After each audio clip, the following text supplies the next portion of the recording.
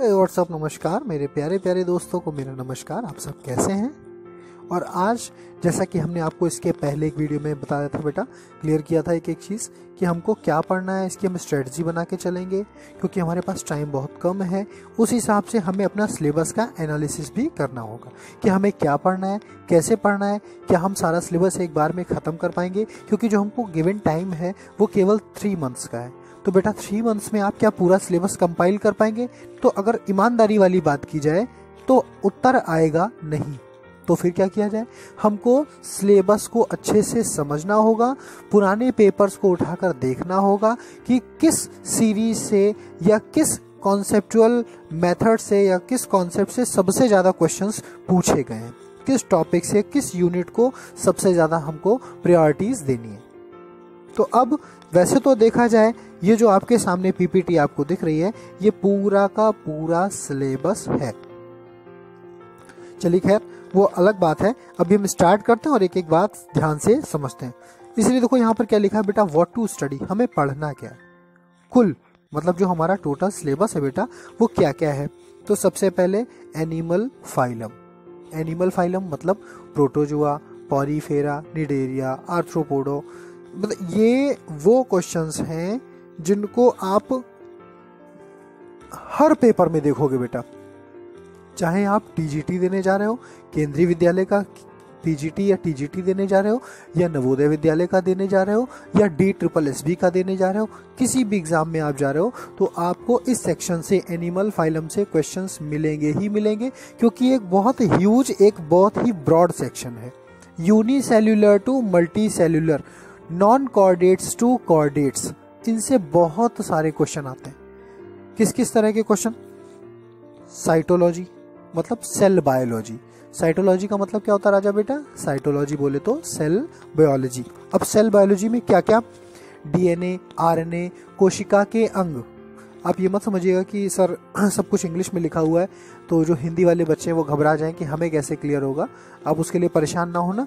लिखा ज़रूर आपको इंग्लिश में मिलेगा, लेकिन हम दोनों भाषा का प्रयोग करेंगे। हिंदी भी बोलेंगे और इंग्लिश भी बोलेंगे।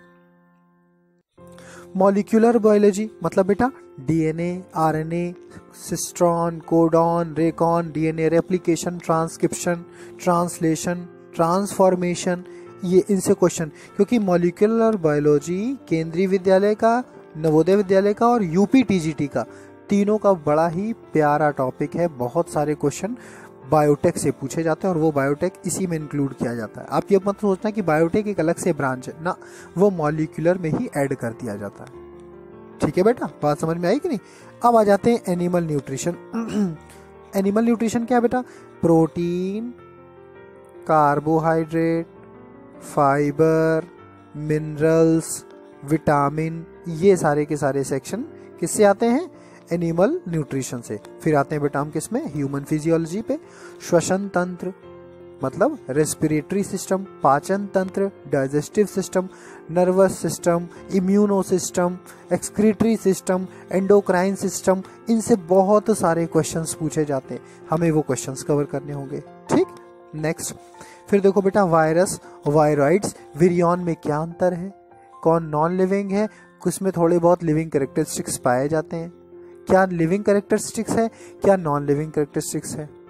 अभी बेटा जो टी इसका टेट का एक पेपर हुआ था, उसमें पूछा गया था कि वायरस का एक ऐसा करेक्टर बता दीजिए, जिस, जो नॉन लिविंग है। तो इसका उत्तर होगा बेटा कि वायरस कैन बी क्रिस्टलाइज्ड जिन बच्चों ने दिया होगा, उनको पता होगा। फिर आ जाओ बेटा बैक्टीरिया लाइकेन ये क्या है बेटा? They are called in biology lower plants इनको क्या कहते हैं बेटा? लोअर प्लांट्स इनसे बड़े क्वेश्चन पूछे जाते हैं बेटा। लोअर प्लांट्स यानी कि virus bacteria lichen algae fungi algae fungi हमने लिखा नहीं है, आप समझ लीजिएगा। यहाँ पर हमने एलगी फंजाई लिखा नहीं है, ठीक है? क्योंकि एलगी फंजाई को हमने इकोनॉमिक इंपॉर्टेंस में शामिल कर दिया है। ठीक है? अब आ जाओ। इकोनॉमिक इंपॉर्टेंस आप पूछोगे इकोनॉमिक इंपॉर्टेंस क्या है? इकोनॉमिक इंपॉर्टेंस बेटा, कौन से बैक्टीरिया कौन सी एलगी कौन सी फंजाई हमारे लिए हेल्पफुल है? हम इनसे क्या इकोनॉमिकली प्राप्त कर सकते हैं? जैसे हम लोग पढ़ते हैं ना जेलेडियम ग्रेसिलेरिया कुछ रेड एलगीज हैं, जो हम लोगों की वो मच्छर मारने वाली दवा बनती है, वो, ठीक है, अगैर अगैर, है, और क्या बोलते हैं, वो जो हम लोग लेमिनेरिया से निकालते हैं कैल्प बोलते हैं, दुनिया भर की चीज़ें हैं, खैर। उससे अभी हम नहीं पढ़ेंगे, अभी हम एक एक करके सब चीज़ों को देखते चलेंगे। फिर आ जाओ बेटा bryophyta most important pteridophyta. Super most important gymnosperm super super super most important ठीक है? एंजियोस्पर्म में क्या पूछा जाता है? एंजियोस्पर्म के खुद के कोई क्वेश्चन नहीं होते, बस एंजियोस्पर्म के सीधे क्वेश्चन जो होते हैं, वो उनकी फैमिली से रिलेटेड होते हैं। क्रूसी फेरी का करेक्टरिस्टिक बताएँ? सबसे ज़्यादा जो पूछी जाती है फैमिली दैट इज़ कंपोजिटी बेटा। कंपोजिटी आपको पूरी तैयार होनी चाहिए। क्रूसी फेरी पूरी तैयार होनी चाहिए, मालवेसी पूरी तैयार होनी चाहिए, सोलेनेसी पूरी तैयार होनी चाहिए। ये चार फैमिलीज़ ऐसी हैं जिनसे सबसे ज़्यादा क्वेश्चन आते हैं। आपने सुन लिया होगा और समझ भी लिया होगा। तो प्लांट फैमिलीज़ कवर हो गई जिम्नोस्पम हो गया एंजियोस्पम हो गया टाइडोफाइटा ब्रायोफाइटा इकोनॉमिक इंपॉर्टेंस हो गया। अच्छा मॉर्फोलॉजी जड़, तना, पत्ती vernation venation monocot dicot plumule ये सारी की सारी छोटी छोटी चीज़ें, यानी कि फिलोटैक्सी बहुत सारी चीज़ें हम लोगों ने पढ़ी हैं। फिलोड क्लैडोड, ये सारे क्वेश्चन किससे पूछे जाते हैं? मॉर्फोलॉजी से। जो बच्चे प्रथम बार हमसे जुड़ रहे हैं, कतई ना घबराएँ, बिल्कुल ना घबराएँ। पुराने वीडियोस एक बार थॉरोली देख डालें और इस बैच को ज्वाइन करें। अगर उनको लगता है किसी प्रकार का कोई दबाव नहीं है बेटा, अगर आपको लगता है कि ये बैच मेरे लिए हेल्पफुल हो सकता है तो आप अवश्य ज्वाइन कीजिए। कुछ बच्चे मेरे से बार बार मैसेज करके व्हाट्सएप के थ्रू ये कहना चाह रहे हैं कि, सर, क्या आप पूरा सिलेबस करा देंगे? फिर थोड़ा सा मुझको अजीब भी लगता है, लेकिन फिर होता है ना कि आदमी को सच बोलना चाहिए, इसलिए मैं सच बोलता हूँ, साफ़ बोलता हूँ। तो बेटा देखो थ्री मंथ्स के अंदर आप पूरी बायोलॉजी को कंपाइल नहीं कर सकते। ये तो सच बात है, सब जानते हैं, कोई नई बात नहीं है। तो ऐसे में क्या कर सकते हैं? हम ज़्यादा से ज़्यादा क्या लगाएँगे? क्वेश्चन एंड आंसर किसके आधार पर कैसे लगाएँगे? एम करेंगे। सबसे ज़्यादा हम लोग एम पे फोकस करेंगे, क्योंकि एम ही हमारे आगे आने वाले क्वेश्चंस का बेस होगा। अगर अगर हम ये कहते हैं कि अगर आपने 100 क्वेश्चन लगाए हैं तो उन 100 क्वेश्चन में से आपको पेपर में 10 क्वेश्चन भी मिल जाए तो हम फिर उस हिसाब से फिर थ्योरी को प्रेफर नहीं करेंगे। हम क्वेश्चंस को ही प्रेफर करेंगे। हाँ लेकिन कॉन्सेप्ट भी नहीं छूटने चाहिए, ज्ञान भी पूरा होना चाहिए। जो चीज़ें हमको लगेंगी कि ये आपको नहीं आता है या आप उसको अपने ढंग से नहीं पढ़ पा रहे हो, वो हम आपकी कंपाइल कराएँगे। ठीक है? चलो खैर, अब आ जाओ बेटा प्लांट एम्ब्रॉयलॉजी अब पूछेंगे आप एम्ब्रॉयलॉजी क्या होता? है हिंदी में नहीं बोलते बेटा? बीजांड हम्म यानी कि एंडोस्पर्म भ्रूण कोश भ्रूण पोष कितने तरह के एंडोस्पर्म होते हैं? चेलेजोगेमी मीजोगेमी पोरोगेमी ये सब चीज़ें आपने पढ़ा होगा। टेस्टा, टेगमेन, उसमें आता है, ये सब चीज़ें क्वेश्चन बड़े पूछे जाते हैं बेटा। ठीक है? तो इनसे हम लोग सारी की सारी चीज़ें कवर करेंगे कि इनर लेयर क्या होती है आउटर लेयर क्या होती है, टेगमेन क्या होता है, टेस्टा क्या होता है, ये सारी की सारी चीज़ें इसमें। एम्ब्रियोलॉजी यानी कि यहाँ पर हम मियोसिस माइटोसिस देखेंगे, जो पौधों में बीजांड में होती है। ठीक है? अब आ जाओ बेटा इकोलॉजी इकोलॉजी में तो कुछ कहना ही नहीं। इकोलॉजी का तो बेस्ट पोर्शन ऑलरेडी पढ़ा ही हुआ है अन अकेडमी पर और यहाँ पर दोनों जगह। लेकिन फिर भी, क्योंकि अब हम एक पेड बैच चला रहे हैं तो इस वजह से हम वहाँ पर उसको और अच्छे से करने का प्रयास करेंगे। ठीक है? तो इकोलॉजी भी पूरी की पूरी समेटने का प्रयास करेंगे। इकोलॉजी की तो बहुत अच्छी अच्छी ट्रिक्स हमने ऑलरेडी दे रखी हैं। चलो भाई, फिर आ जाते हैं। भैया जेनेटिक्स पे। जेनेटिक्स मोस्ट इंपॉर्टेंट वैसे इतना इंपॉर्टेंट नहीं है। वो पूछेंगे वही चार क्वेश्चन है उनके पास, वही घुमा फिरा के पूछेंगे। लेकिन बच्चों को लगता है कि ये छूट रहा है हमारा, ये सेक्टर ऐसा है जो हमको नहीं समझ में आता कि मोनो हाइब्रिड क्रॉस क्या है डाई हाइब्रिड क्रॉस क्या है मेंडेलियन जेनेटिक्स क्या है। तो उसके लिए आप कतई ना घबराइए। हम एक एक करके छोटे छोटे वीडियोज़ में सब कवर कर देंगे। And then finally we have to come on plant physiology बोले तो फोटोसिंथेसिस बोले तो ट्रांसपिरेशन बोलिए। फिर जैसे कि, फिर ट्रांसपोर्टेशन ट्रांसपोर्टेशन समझते हैं ना? पौधों में जो ऑस्मोसिस विसरण, परासरण ऑस्मोसिस दोनों भाषाओं में बोलना पड़ रहा है ना? तो बार बार सोचना पड़ता है। डिफ्यूजन ऑस्मोसिस है बोरॉन क्या काम करता है? रूट को कौन मज़बूत करता है? मैक्रो एलिमेंट्स क्या है? माइक्रो एलिमेंट्स क्या है? ठीक है ना? डीपीडी क्या है? आपने पढ़ा होगा। जिसने पढ़ा होगा, वो सारी चीज़ें समझ रहा होगा। ठीक है? तो अब आ जाओ प्लांट फिजियोलॉजी में फोटोसिंथेसिस फोटोसिंथेसिस में क्रैप साइकिल है। ठीक है? क्रैप साइकिल हो गई और ग्लाइकोलिसिस हो गई, इनमें बच्चे हमेशा कंफ्यूज रहते हैं कि फाइनली एटीपी कितने बनते हैं। हम आपको एक एक चीज़ इसमें क्लियर कर देंगे। आपको कतई कोई कंफ्यूजन नहीं होगा।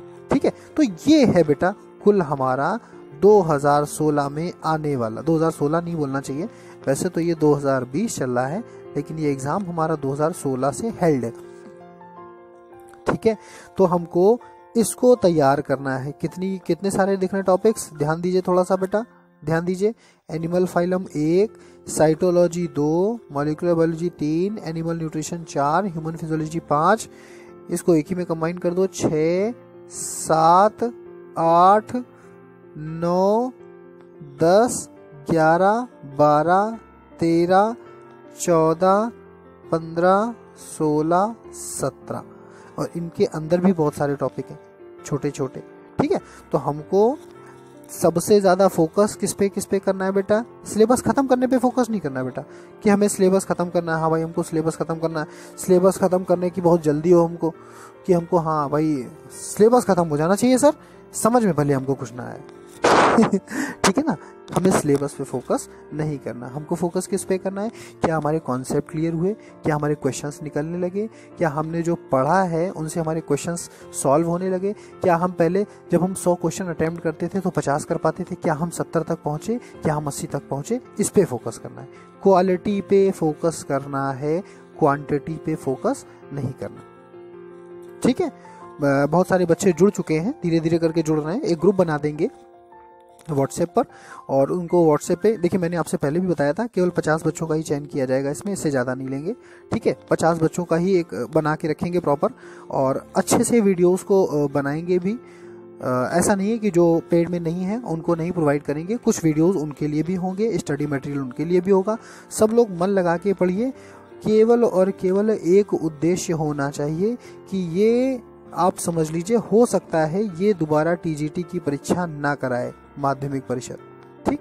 तो ऐसी कंडीशन में इसको हम अपना अंतिम लक्ष्य मानते हुए इसको हमको इस बार फाइनली क्लियर करना ही करना है। आई मेरी बात समझ में? ठीक है? अब क्योंकि आपसे काफ़ी दूर बैठे हुए हैं, हम आपको हर चीज़ बहुत सारे नहीं बता सकते। मतलब हर चीज़ हम पीठ थपथपा थपथपा कर नहीं बता सकते कि बेटा तुमने ये पढ़ा कि नहीं? बेटा तुमने ये पढ़ा कि नहीं? हम आपसे काफ़ी दूर हैं और दूर होने की वजह से हम आपको बस यही से गाइड कर सकते हैं। तो आप मेरी बातों को समझते चलिएगा, गंभीरता से लीजिएगा, जो टॉपिक छूटते जाएँगे, उनको हम आपसे बताते जाएँगे कि बेटा इसमें ये ये हम पढ़ाई दे रहे हैं, ये ये आप स्वतः पढ़ लीजिएगा। और जो हम आपके लिए टॉपिक छोड़ेंगे ऑब्वियसली वो हल्के टॉपिक होंगे, छोटे टॉपिक होंगे। और जो हार्ड टॉपिक्स हैं, उनको हम कवर करने की रिस्पॉन्सिबिलिटी लेते हैं। ठीक है? एग्ज़ाम क्योंकि तीन महीने के अंदर होने की बात की गई है तो कम से कम कोशिश करेंगे कि हमारा परसिस्टेंस ढाई महीने, तीन महीने तक चले। अब बाकी अगर एग्ज़ाम पहले हो जाता है तो और अच्छी बात है, या बाद में हो जाता है तो भी कोई दिक्कत नहीं है। सब सर्वाइव करते रहेंगे एक एक चीज़ का रिवीजन करते चलेंगे। नोट्स बनाते चलिएगा, पुराने नोट्स आपके पास होंगे ही, उनका भी रिवीजन करते चलिएगा। अन अकेडमी पे जितने वीडियोस हैं, उनको भी देखते रहिएगा। क्वेश्चन ज़्यादा से ज़्यादा लगाइएगा। मेरे हिसाब से जो मेरा, अगर मैं इस परीक्षा में उपस्थित होता तो मेरा टारगेट होता कि अगर हमको तीन महीने मिलते हैं, अब तो तीन नहीं रहे वैसे, अगर हमको तीन महीने मिलते हैं तो मेरा टारगेट होता कम से कम सात हज़ार प्रश्नों को लगाने का, मेरा, अगर हम होते आपकी जगह, क्योंकि मैंने ऐसा ही किया था। जब मैं नीट के सॉरी नीट तो नहीं, क्योंकि जब मैं परीक्षा देता था तो सीपीएमटी चलता था that is C P M T combined pre medical test ठीक है? तो इस परीक्षा में जब मैं शामिल होता था तो बायोलॉजी के एक मंथ में कम से कम तीन हज़ार से ज़्यादा क्वेश्चन लगाता था। तो वही आंकड़ा आप ले लीजिए, मेरे हिसाब से कम से कम सात हज़ार क्वेश्चन लगा डालिए बेटा। और क्वेश्चन आपको कुछ क्वेश्चन हम प्रोवाइड करेंगे कुछ आपके पास बुकलेट्स हैं बुक्स भी होंगी। मैंने आपको पहले ही बुक्स के बारे में बता दिया, बच्चे बार बार पूछते हैं, देखो बेटा रमेश गुप्ता, आर के गुप्ता और M P Kaushik best book है। ठीक है? इसके पीछे के सारे क्वेश्चंस लगा डालिए। अगर आपको नहीं समझ में आता थ्योरी कम समझ में आती तो आप क्वेश्चन पीछे के लगा डालिए। ये क्या हो गया? ये थ्योरी की बुक हो गई बेटा। अब अगर हम बात करें कि हमें ऑब्जेक्टिव की कौन सी बुक खरीदनी चाहिए? दैट इज़ आर के पिल्लई आर के पिल्लई की जोलॉजी की। और इनकी बॉटनी की जब लाओगे तो that is am sorry that is Kumar Malik तो क्या बोलते हैं बेटा? कुमार कुमार मलिक। भूलना नहीं बेटा, कहीं गलत ना उठा लाना, किताब महँगी आती है सब किताबें 800 900 रुपए की किताबें हैं। अगर आप इनको ले आओगे और गलत चीज़ उठा लाए तो फिर आप परेशान हो जाओगे। और ये भी अपने हिसाब से डिसाइड कर लेना कि आप हिंदी में पढ़ना पसंद करते हो या इंग्लिश में। मेरे कहने पर मत आना। You have to know what is your ability तुमको पता होना चाहिए बेटा कि तुम्हारी क्या कार्य क्षमता है। ठीक है? बात समझ में आई? तो हमने आज आपको ये बता दिया कि हमारा असली सिलेबस क्या है, हमको क्या पढ़ना है और कैसे पढ़ना है। ठीक है ना? तो बस, अभी आप समझते चलिए चीज़ों को। अभी टाइम है आपके पास। मैं कहता हूँ, कम से कम दो से दो से ढाई महीना तो है ही अभी आपके पास। क्योंकि मुझे नहीं लगता कि मार्च में करा पाएँगे, उससे आगे बढ़ाएँगे बढ़ाएँगे। ठीक है? तो कोशिश कीजिए कि इन दो से ढाई महीने में ज़्यादा से ज़्यादा एम अटेम्प्ट करने को आपको मिल जाए। जितने भारी मात्रा में आप एम सी क्यूज़ लगाओगे, उतना परसेंटेज आपका बढ़ता जाएगा सिलेक्शन की ओर। ठीक है ना? पूरी बात आपको समझ में आ गई होगी। जो भी कन्फ्यूजन्स हैं, जो भी बात करनी है कमेंट्स में आप जाके बात कर सकते हैं और जो बैच की डिटेल्स हैं, वो भी हम वहीं पर डाल देंगे। देख लीजिएगा, हर एक पीडीएफ आपको जो यहाँ पर पढ़ाते हैं, ये वहीं पर हम प्रोवाइड करते रहेंगे। Thank you so much bye good night